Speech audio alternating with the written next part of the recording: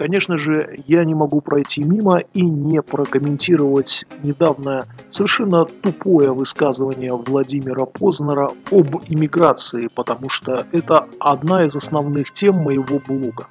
Сначала реакцию на его слова. Вот что написала одна женщина.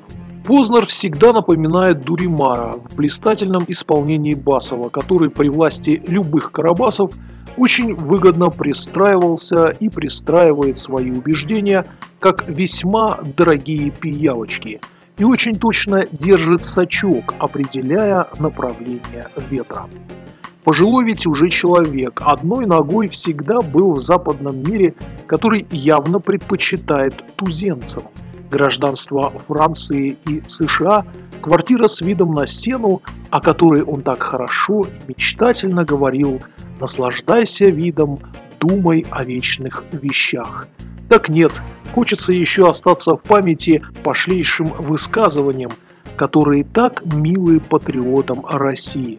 Все сильнее убеждаюсь, самое главное для публичного человека – найти в себе силы снять микрофон и уйти со сцены до того, как становишься уже совершенно пошел и смешон.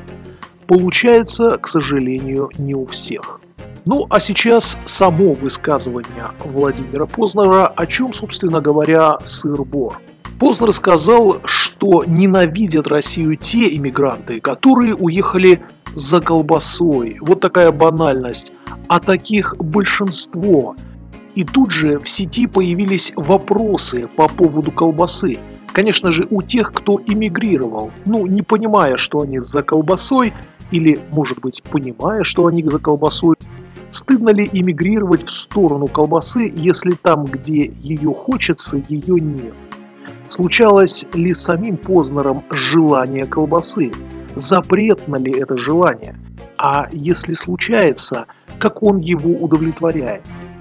Как по мысли Познера связано обретение колбасы в новом месте с ненавистью к старому месту? Разве обретение колбасы не делает человека добрее, спокойнее?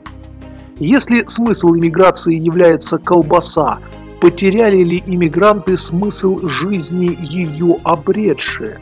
И последний вопрос, как удалось Познеру заглянуть в душу всех иммигрантов? Если вы дадите ответы на эти вопросы или вообще напишите свое мнение по поводу иммиграции за колбасой, буду очень вам признателен. В конце мне хотелось бы сказать вот что. Владимир Познер родился в семье русского еврея и француженки.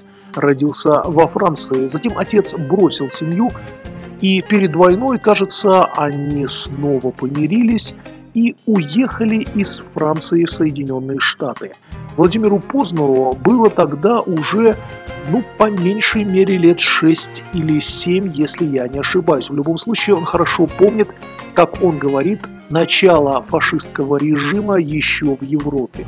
Все мы почему-то всегда думаем, что Владимир Познер – это человек, который очень много лет прожил в Соединенных Штатах, но если отталкиваться от его воспоминаний, то прожил он там, в общем-то, недолго – Собственно говоря, он там пошел в школу, когда ему было уже 14, отец эмигрировал в Советский Союз. Попал на территорию тогдашней ГДР, и там молодой Володя начал учиться по советской школьной программе и изучать русский и немецкий язык одновременно. Так что этот момент я очень хорошо запомнил о Володе Познеру, было 14 лет. Ну а если попал он в Соединенные Штаты, когда ему было 7, то нетрудно посчитать, сколько же лет всего Владимир Познер прожил в Соединенных Штатах. Потом была его учеба в университете, он работал э, переводчиком английской литературы, работал с Маршаком, но это он любит рассказывать. Поступил э, в институт на биолога, потом жизнь его случайно столкнула с журналистикой. И, по-моему, в 90-х годах, когда совсем прижало, он снова отправился в Соединенные Штаты.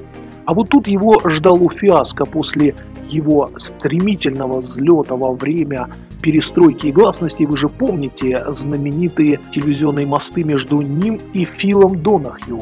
Он думал, что, приехав в Соединенные Штаты, он станет там такой же звездой, как в загнивающем совке. Но этого не получилось. Помотавшись по штатам и не найдя себе никакой работы, Кажется, в 2000-х Владимир Познер возвращается назад.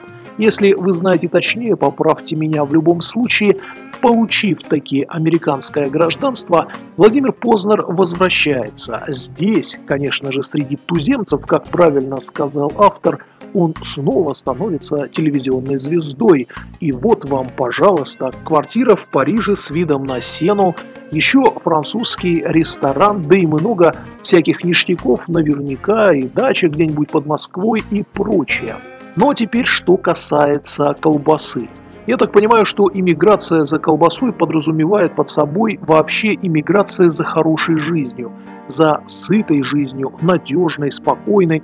Все это вошло в понятие «колбаса». Так вот, я хотел бы спросить Владимира Познера, если бы у меня была такая возможность. Тогда, в конце 30-х годов или в самом начале 40-х, когда его родители уехали, боясь преследования евреев, Соединенные Штаты, потому что там было спокойно, тихо и не было никакого Гитлера. Разве они не поехали за колбасой? Ну, то есть за более сытой жизнью, спасая свои, простите меня, задницы. Да, потом папа отказался от жизни в Соединенных Штатах и по идейным соображениям переезжает в Советский Союз. Здесь в отношении Владимира Познера нет никаких вопросов – он был 14-летним мальчиком и просто последовал за папой. Но когда приезжала, в 90-х годах, Владимир Познер опять же возвращается в Соединенные Штаты, и здесь уже не отмажетесь, Владимир Владимирович.